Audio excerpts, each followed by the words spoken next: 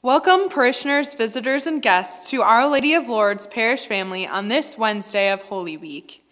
As we get closer to the most holy days of the liturgical year, we continue to journey with Jesus. In worship, we are all invited to sing, From the Depths We Cry to Thee.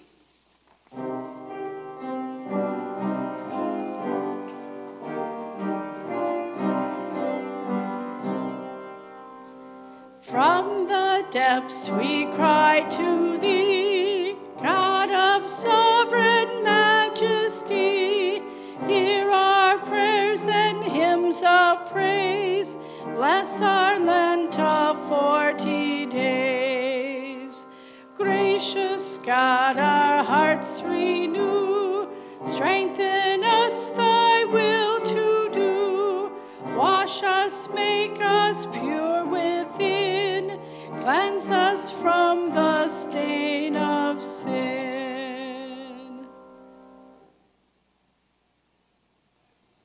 In the name of the Father, and of the Son, and of the Holy Spirit. Amen. The grace of our Lord Jesus Christ, the love of God, and the communion of the Holy Spirit be with all of you. And with your spirit. Good morning, everyone, as we come together to celebrate this Holy Eucharist.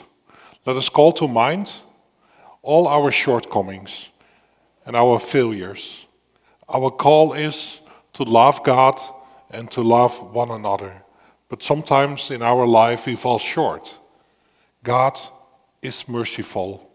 Let us rely upon His mercy. I confess to Almighty God and to you, my brothers and sisters, that I have greatly sinned in my thoughts and in my words, in what I have done and in what I have failed to do. Through my fault, through my fault, through my most grievous fault. Therefore, I ask Blessed Mary, ever Virgin, all the angels and saints, and you, my brothers and sisters, to pray for me to the Lord our God. May Almighty God have mercy on us, forgive us our sins, and bring us to everlasting life. Amen. Lord, have mercy. Lord, have mercy. Christ, have mercy. Christ, have mercy. Lord, have mercy. Lord, have mercy. Let us pray.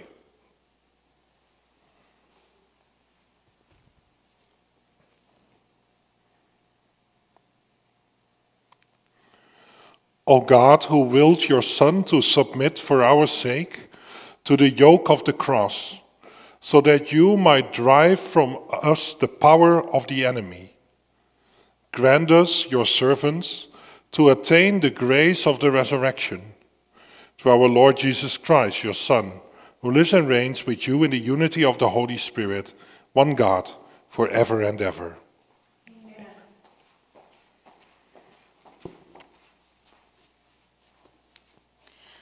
A reading from the book of the prophet Isaiah. The Lord has given me a well trained tongue, that I might know how to speak to the weary a word that will rouse them. Morning after morning, he opens my ear that I may hear. And I have not rebelled, have not turned back. I gave my back to those who beat me, my cheeks to those who plucked my beard. My face I did not shield from buffets and spitting. The Lord God is my help, therefore I am not disgraced. I have set my face like flint, knowing that I shall not be put to shame. He is near who upholds my right. If anyone wishes to oppose me, let us appear together. Who disputes my right? Let him confront me. See, the Lord God is my help. Who will prove me wrong? The word of the Lord. Our response will be, Lord, in your great love, answer me. Lord, in your great love, answer me. For your sake I bear insult, and shame covers my face. I have become an outcast to my brothers, a stranger to my mother's sons, because zeal for your house consumes me, and the insults of those who blasphemy you fall upon me. Lord, in your great love, answer me. Insult has broken my heart, and I am weak. I look for sympathy, but there was none. For consolers, not one could I find. Rather, they put gall in my food, and in my thirst they gave me vinegar to drink. Lord, in your great love, answer me. I will praise the name of God in song, and I will glorify him with thanksgiving. See the lowly ones, and be glad. You who seek God, may your hearts revive. For the Lord hears the poor, and his own who are in bonds he spurns not. Lord, in your great love, answer me.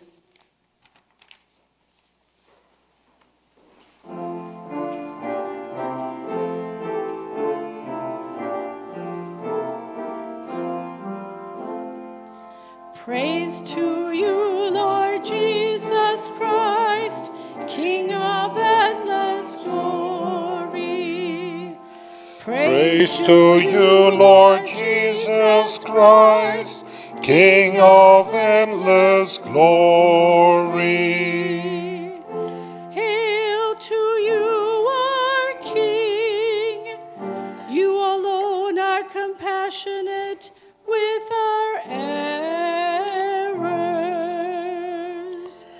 Praise to you, Lord Jesus Christ, King of endless glory. The Lord be with you. A reading from the Holy Gospel according to Matthew. One of the twelve, who was called Judas Iscariot, went to the chief priest and said, What are you willing to give me if I hand him over to you? They paid him 30 pieces of silver, and from that time on, he, hooked, he looked for an opportunity to hand him over. On the first day of the feast of unleavened bread, the disciples approached Jesus and said, Where do you want us to prepare for you to eat the Passover? He said, Go into the city to a certain man and tell him, The teacher says, My appointed time draws near. In your house I shall celebrate the Passover with my disciples. The disciples then did as Jesus had ordered and prepared the Passover. When it was evening, he reclined at table with the twelve. And while they were eating, he said, Amen. I say to you, one of you will betray me. Deeply distressed at this, they began to say to him, one after another, Surely it is not I, Lord. He said in reply, He who has dipped his hand into the dish with me is the one who will betray me. The Son of Man indeed goes, as it is written of him, but woe to that man by whom the Son of Man is betrayed. It would be better for that man if he had never been born. Then Judas, his betrayer, said in reply, Surely it is not I, Rabbi. He answered, You have said so. The Gospel of the Lord.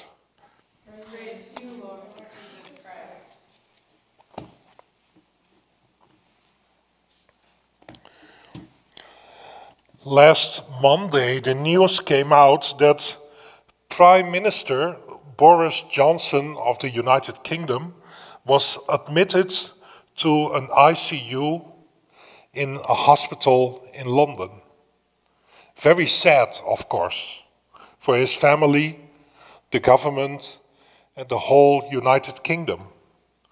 Also, Prince Charles was infected with the coronavirus.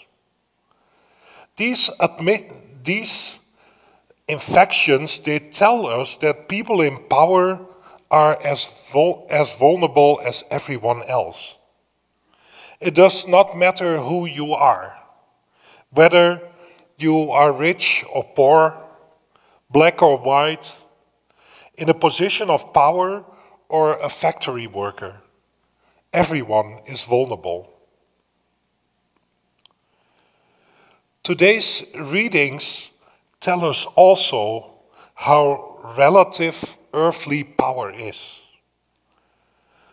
The reading from Isaiah tells us about a suffering servant.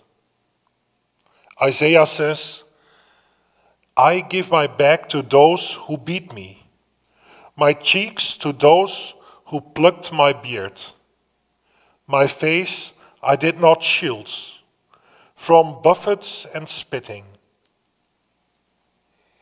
It is clear the power of this servant is not laid in earthly things, but in God.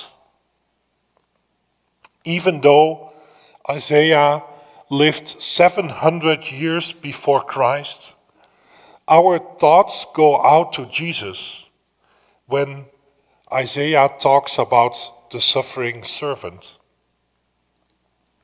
In the gospel, we hear how Judas is interested in earthly power. He wants to be, he wants to be friends with the establishment of the religious authorities and making money for himself by betraying Jesus. It is clear his focus is not God and his kingdom, but only short term benefits. The readings bring up the question what are we interested in? What is our focus and what is our purpose? Is it God and His kingdom, or is it earthly benefits and short term possessions?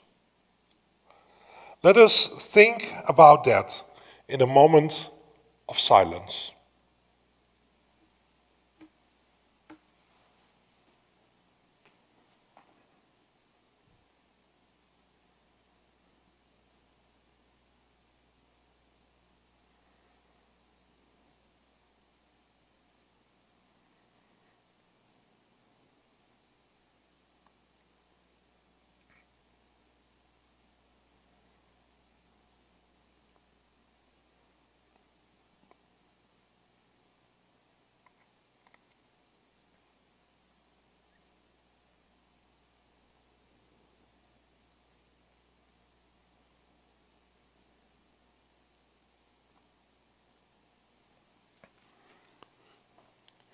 We open our hearts and pray to the Lord.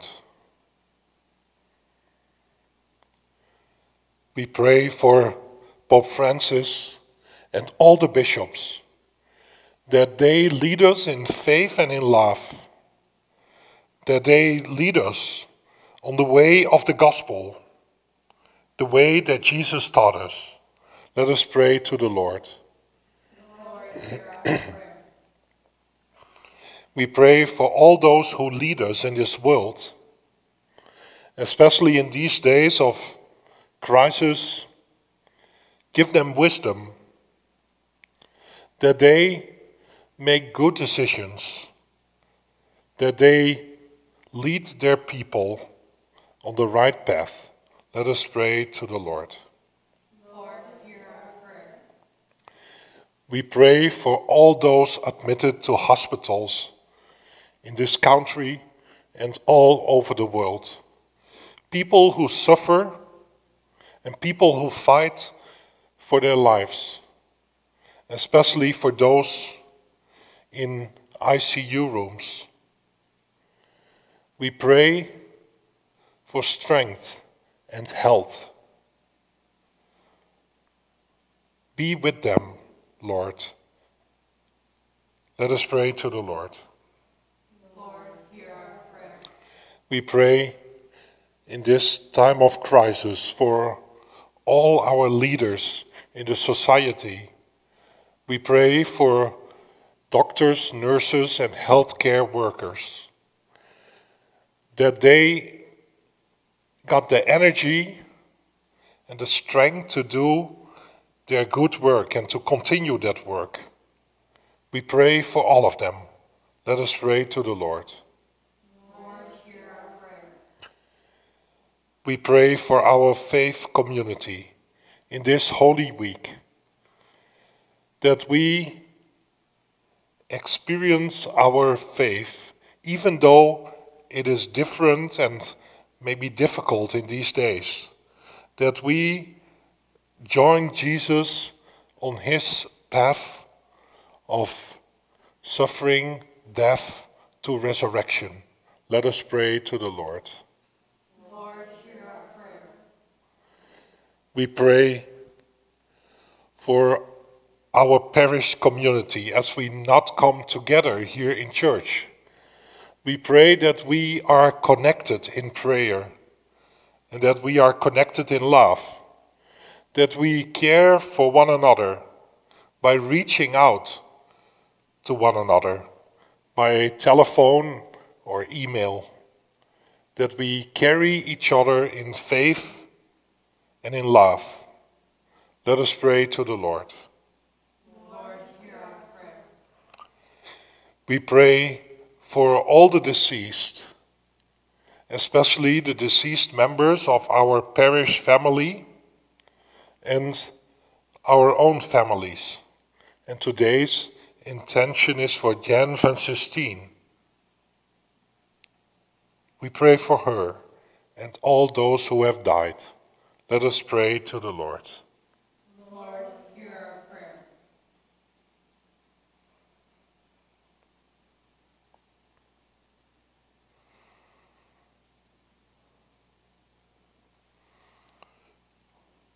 Lord our God, we come to you with all these prayers and we ask you to hear us through Jesus Christ our Lord.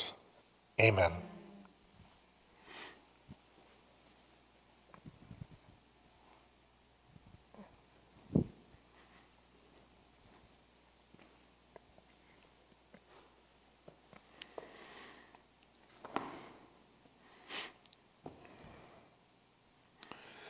Blessed are you, Lord God of all creation, for through your goodness we have received the bread we offer you.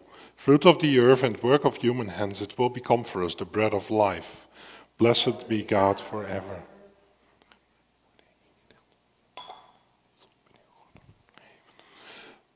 Blessed are you, Lord God of all creation, for through your goodness we have received the wine we offer you. Fruit of the vine and work of human hands, it will become our spiritual drink. Blessed be God forever.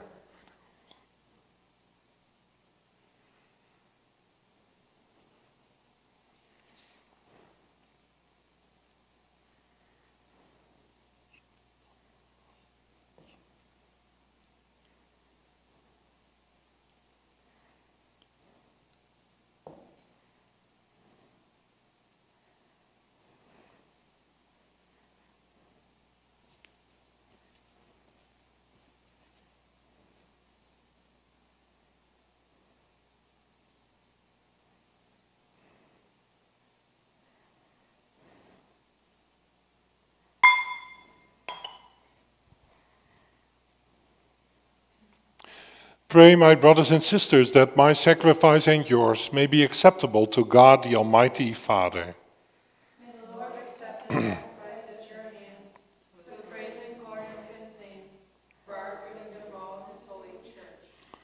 Receive, O Lord, we pray, the offerings made here, and graciously grant that celebrating your Son's passion in mystery, we may experience the grace of its effects.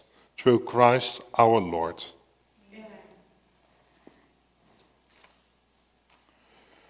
The Lord be with you. With Lift up your hearts. up. Let us give thanks to the Lord our God. It is right and just. It is truly right and just, our duty and our salvation, always and everywhere to give you thanks, Lord, Holy Father, Almighty and eternal God, through Christ our Lord. For the days of his saving passion and glorious resurrection are approaching, by which the pride of the ancient foe is vanquished. and the mystery of our redemption in Christ is celebrated. Through him, the host of angels adores your majesty and rejoices in your presence forever.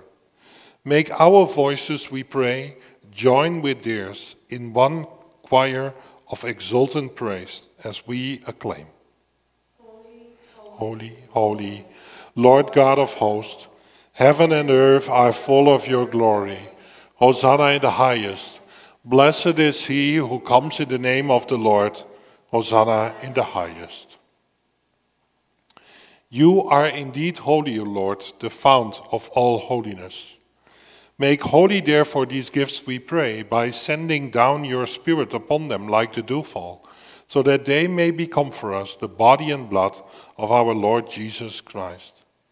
At the time he was betrayed and entered willingly into his passion, he took bread and giving thanks, broke it and gave it to his disciples, saying, Take this, all of you, and eat of it, for this is my body, which will be given up for you.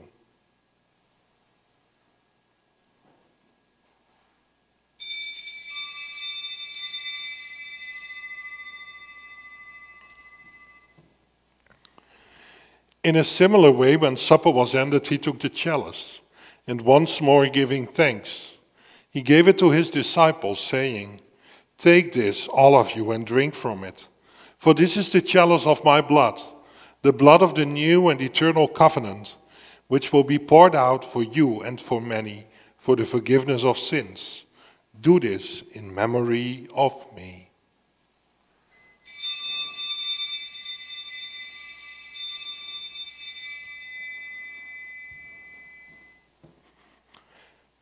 The mystery of faith. Save us, Savior of the world, for by your cross and resurrection you have set us free. Therefore, as we celebrate the memorial of his death and resurrection, we offer you, Lord, the bread of life and the chalice of salvation, giving thanks that you have held us worthy to be in your presence and minister to you. Humbly we pray that partaking of the body and blood of Christ, we may be gathered into one by the Holy Spirit. Remember, Lord, your church, spread throughout the world and bring her to the fullness of charity, together with Francis, our Pope, and David, our Bishop, and all the clergy.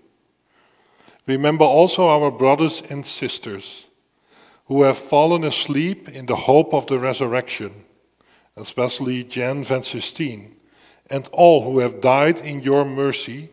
Welcome them into the light of your face. Have mercy on all of us, we pray, that with the Blessed Virgin Mary, the Mother of God, the Blessed Joseph, her spouse, with the blessed apostles, with Saint Bernadette and all the saints who have pleased you throughout the ages, we may merit to be co heirs to eternal life and may praise and glorify you through your Son, Jesus Christ. Through him and with him and in him, O God Almighty Father, in the unity of the Holy Spirit, all glory and honor is yours forever and ever. At the Saviour's command and formed by divine teaching, we dare to say, Our Father, who art in heaven, hallowed be thy name. Thy kingdom come, thy will be done, on earth as it is in heaven. Give us this day our daily bread, and forgive us our trespasses, as we forgive those who trespass against us. And lead us not into temptation, but deliver us from evil. Deliver us, Lord, we pray, from every evil. Graciously grant peace in our days, that by the help of your mercy we may be always free from sin and safe from all distress, as we await the blessed hope and the coming of our Savior, Jesus Christ. For the kingdom, the power, and the glory are yours now and forever. Lord Jesus Christ, who said to your apostles, Peace I leave you, my peace I give you. Look not on our sins, but on the faith of your church, and graciously grant her peace and unity in accordance with your will, who live and reign for ever and ever. The peace of the Lord be with you always. And with your spirit. Lamb of God, you take away the sins of the world, have mercy on us. Lamb of God, you take away the sins of the world, have mercy on us. Lamb of God, you take away the sins of the world, grant us peace.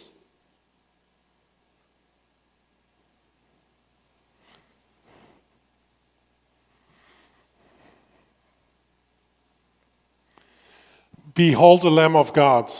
Behold him who takes away the sins of the world. Blessed are those called to the supper of the Lamb. Lord, I am not worthy that you should enter under my roof, but only say the word, and my soul shall be healed.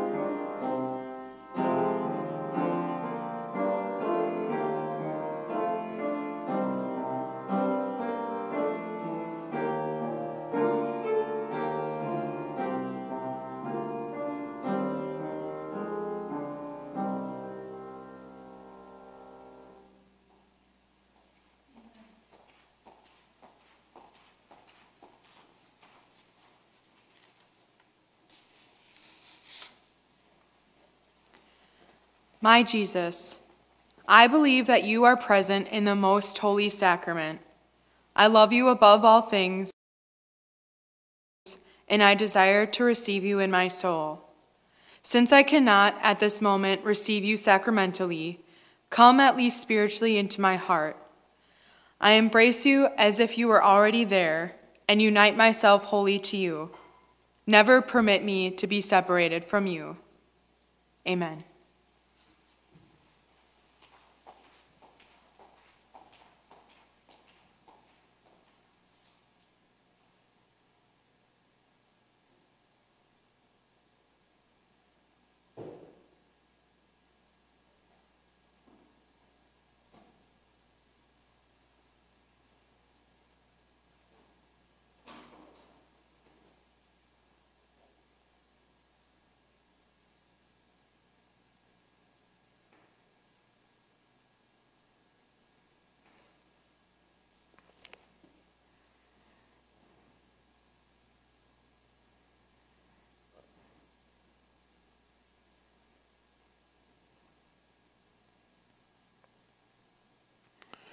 Let us pray.